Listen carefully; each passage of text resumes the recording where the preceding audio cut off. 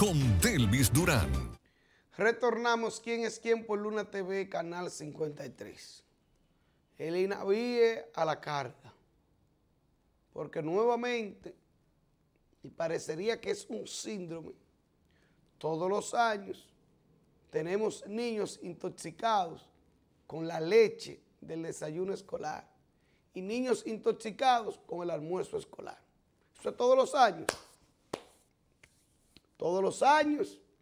Y yo les he dicho a ustedes por qué ocurre eso. Es que en las licitaciones el Ministerio de Educación quiere, el INAVIE quiere que le lleven una comida buena y barata a los niños. Quieren pagar un almuerzo eh, entre 60 y 70 pesos. Y usted me dice a mí que un almuerzo que cuesta 70 pesos sirve. Eso es basura. ¿Y usted cree que le pueden llevar arroz con, con habichuela y carne a un niño que va a servir la carne, tiene que ser basura, porque por 70 pesos usted no sirve un plato de comida. Y quiere que le paguen la leche y el pan en la mañana barato a tres cheles. Entonces, cuando el Ministerio de Educación haga una licitación responsable y que le diga, mire usted, estos son los parámetros de calidad y yo te voy a pagar, dime cuánto es para pagarte lo que va. Ah, no, el Ministerio de Educación quiere que le paguen quiere que le hagan la comida y el desayuno escolar por una miseria. Esa es la primera realidad. La segunda realidad es, ¿quiénes son los que suplen esa, esa leche, el desayuno escolar? Esa es la cooperativa de productores de leche de la región este. Son los productores de leche. Esa gente es responsable. Y esa gente, esa leche, no hay forma de que esa leche falle. Ahora bien, ¿cuál es el problema? Que envasan la leche, entonces le entregan la leche a un suplidor, que es el que viene y la da con el desayuno escolar. Por esa leche, mientras llega al centro, debe llegar en un camión con un freezer refrigerado y lo que está ocurriendo es que están llevando la leche sin refrigeración a los centros. Yo le digo por mi niño que llegaba con una lechita, yo le, le dije, lo orienté, no tome esa leche. Pero no ahora, hace varios años. No tome esa leche. No la coja. Déjala ya, dile que tú no quieres. Y yo me encargo entonces de yo darle su desayuno al niño antes de salir de la casa y en su lonchera mandarle su desayuno. Pero le tengo prohibido que use esa leche. Ahora bien, hay padres que no tienen que darle a sus niños por la mañana. Hay padres que tienen que irse a trabajar a las 5 de la mañana y que dejan a sus niños durmiendo y que sus niños se levantan, se visten ellos y se van solitos a la escuela, sin lonchera y sin ni uno en los bolsillos, que tienen esos niños que beberse esa leche porque no hay de otra. No hay de otra. Entonces aquí en un centro educativo, en la zona sur, en Pekín, la Herminia Pérez, el centro educativo más grande de la zona sur, 57 intoxicados. Y dice el director del distrito que no solo en ese centro, que en otros centros también hay niños que han tenido los mismos inconvenientes. Pero que no es la leche, y que no es la leche, y que no es la leche, y que están analizando el agua. Sabemos que es la leche. Ah, que es un laboratorio, olvídense de eso. El INAVIE siempre va a decir que no. Pero usted atrapa a un ladrón con un tanque de gas al hombro y él dice que no, que no se robó eso. Que él iba a mover, era para allá. Pues yo encontré a un ladrón con, una, con la batería de mi vehículo. Me dijo que no, que era que él iba a prender su carro que estaba dañado. Que se, le dañó la batería y él cogió esa para ir a prender el carro. Eso me dijo el ladrón. El ladrón busca una excusa. El INAVI está buscando una excusa para decir que no, que no es la leche. Para decir que no es la leche, pero sabemos que es la leche. Y no están ahí los casos de los niños. Ahora bien, en el pliego de condiciones de la licitación, hay unos compromisos, hay unos requisitos con los que debe cumplir el suplidor. Y si el suplidor no cumple con esos requisitos, queda fuera.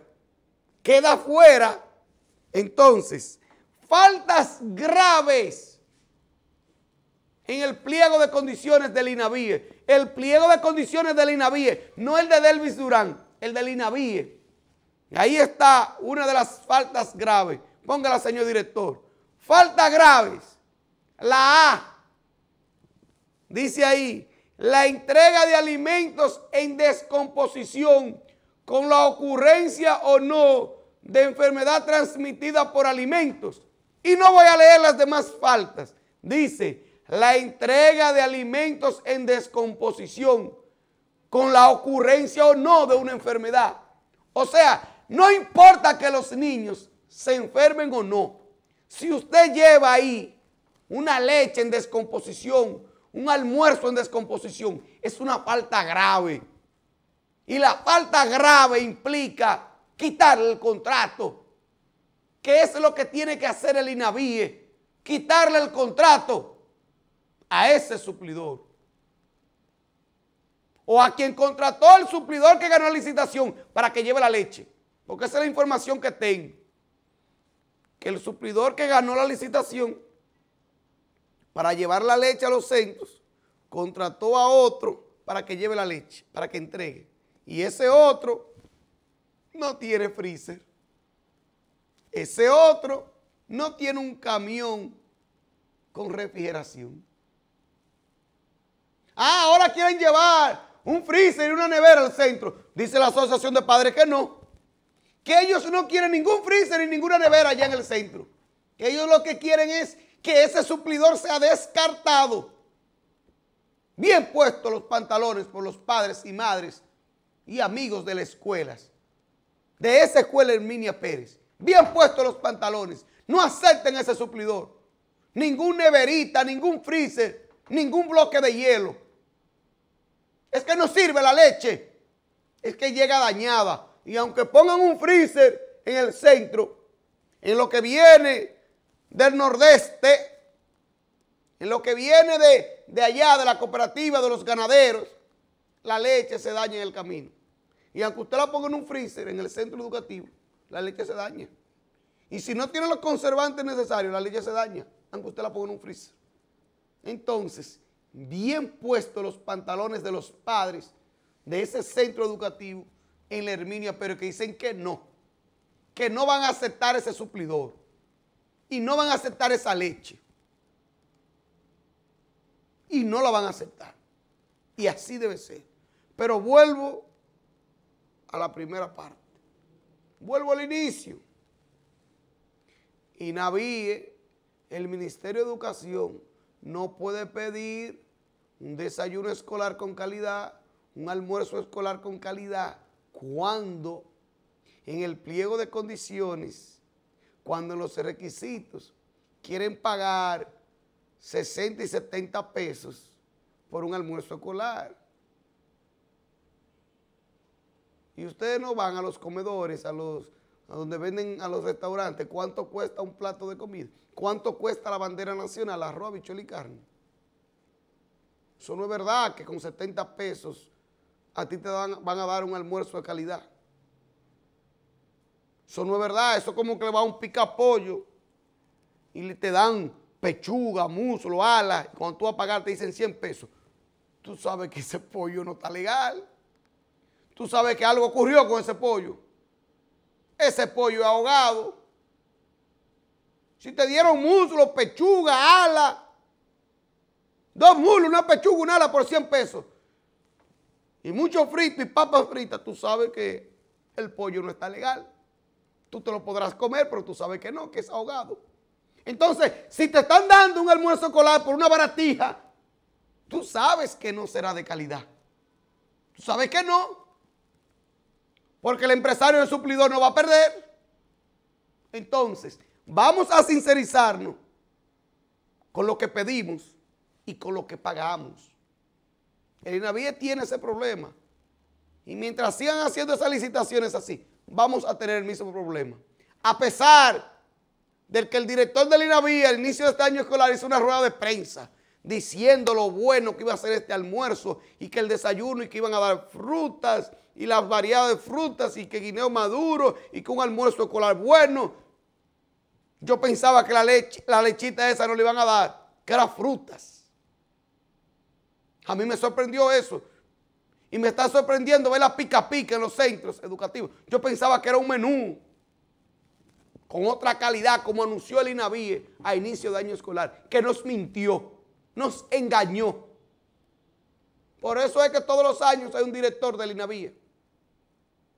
Por eso que se lo llevan. Por eso que lo quitan de ahí.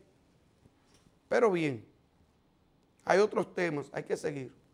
Dice el ministro de la presidencia, José Ignacio Paliza, está confirmando que en la próxima semana se va a someter la reforma fiscal. Lo dijo Rijo Presbol, el director de presupuesto, que en la semanal esta semana se iba a hablar de eso. Y salió Homero Figueroa de Gallo Loco a desmentir a Rijo Presbol. Y ahora va a salir a desmentir a José Ignacio Paliza. ¿Quién quedó mal ahora? ¿Quién quedó como un gallo loco? Homero Figueroa. Salió a desmentir en un comunicado a Río Presbol que no, que no se iba a someter la reforma fiscal. Y ahora va a desmentir a Paliza. Y va a desmentir que el lunes están convocando a los medios para intentar persuadirlo y que se conviertan en bocinas de la reforma fiscal. Hay un encuentro con los medios el lunes en Palacio Nacional. ¿Para hablar de qué? De la reforma fiscal. De la reforma fiscal, para cuando se introduzca la reforma, esos medios estén alineados. Que no se atrevan a hablar en contra. Es para eso el encuentro del lunes en Palacio Nacional con medios de comunicación, con los llamados líderes de opinión y directores de medios. Para pasarle la mano. Y ustedes saben lo que digo cuando es pasarle la mano. Más de 6.500 lesionados en el 2023 por culpa de los accidentes. Escuchen bien, más de 6.500 dominicanos fueron a rehabilitación en el 2023, lesionados por los accidentes. ¿Usted sabe quiénes son esos? A los que le ponen dos galones, levantan un pie, como lo he visto yo en el Cabral Ibáez, con cuatro galones atravesados con, con varillas. Esos son más de 6.500 con galones en los pies. Y busquen el dato. Motoristas, la mayoría. Motocicletas. Pero más de 6.500. Señores, es un número alarmante. En rehabilitación. ¿Y usted sabe lo que significa eso en dinero? ¿Cuánto se gasta en un solo paciente? Vayan a Cabral Ibáez, pregúntenle. Yo he ido, yo le he preguntado. Más de 300 mil en el primer proceso. Y hay pacientes que hay que hacerle dos y hasta tres cirugías.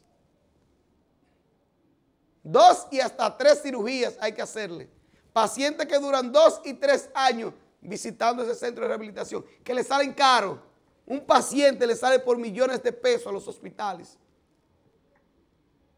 El presupuesto, por ejemplo, de Carvalho Ibáez, esos directores, es haciendo magia con el presupuesto porque se le va en eso, en los accidentados, ahí que se va el dinero.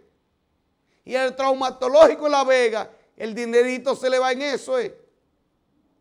Ahí es que se va el dinero. Entonces, más de 6.500. ¿Y por qué los medios ahora están buscando estas estadísticas? Por el caso del accidente del fin de semana, donde el camión donde perdieron la vida seis dominicanos y hay 41 lesionados. Y hay personas con piernas, con brazos, que para rehabilitación, 41. De los 41 hay 11 que están en un estado, hay gente ahí que perdieron sus piernas, lamentablemente. Ahora, ¿qué, ¿cuánto le cuesta eso al Estado Dominicano? Entonces, ¿cuál ha sido la política del Estado Dominicano? ¿Cuál ha sido la política del Intran? ¿Cuál ha sido la política de la DGC? ¿Cuál ha sido la política de las alcaldías? Para enfrentar el mal de los accidentes en este país. ¿Ustedes saben cuál ha sido la política? Ninguna. Ninguna. Hablando del Intran, la fuerza del pueblo, la fuerza del pueblo está pidiendo una investigación y que se tomen acciones con relación al escándalo del caso de los semáforos. Sí, porque ese chantaje, ese acto terrorista ocurrido el pasado fin de semana, eso no se puede tolerar, eso debe, eso debe abrir una investigación.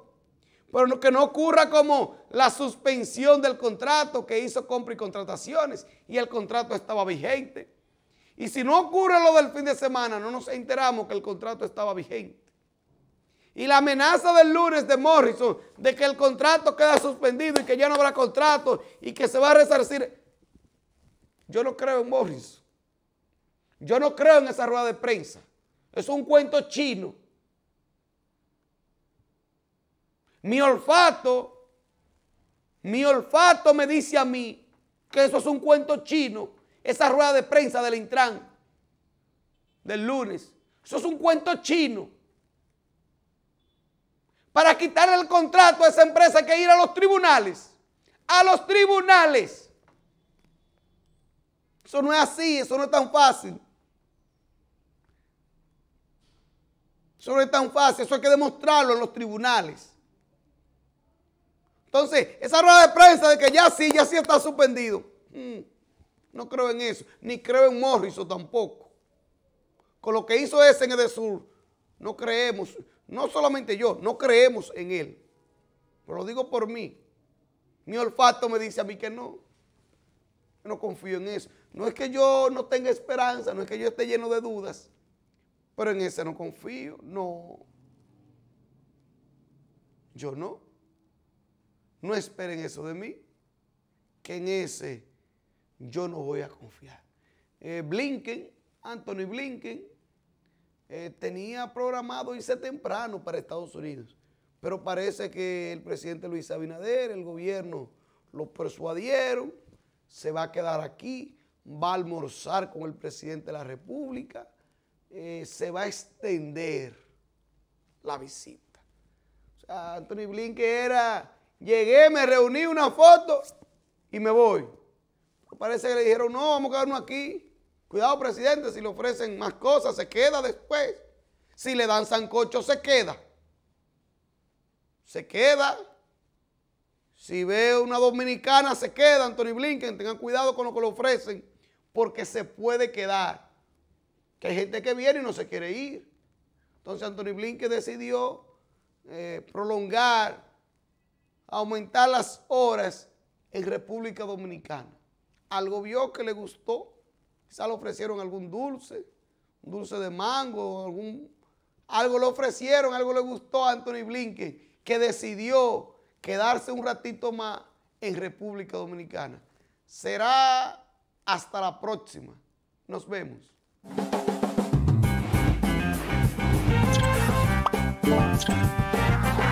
¿Quién es quién?